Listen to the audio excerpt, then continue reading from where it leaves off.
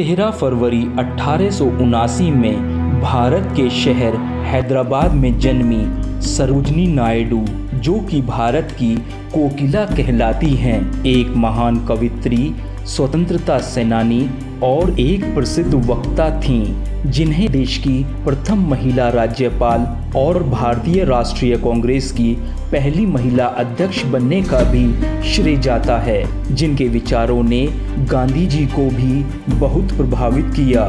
Golden threshold bird of time और broken wing जैसे काव्य संग्रह से उन्हें बहुत शोहरत हासिल हुई। वर्ष 1964 में उनकी जयंती के अवसर पर उनके सम्मान में भारत सरकार ने एक डाक टिकट भी जारी किया। वर्ष 1919 में नायडू जी की speeches and writing of Sarojini Naidu नामक पुस्तक प्रकाशित हुई। इस पुस्तक में नायडू इस्लाम और कुरान के संबंध में कहती हैं न्याय बोध इस्लाम का सबसे ज़्यादा आश्चर्य में डाल देने वाला आदर्श है।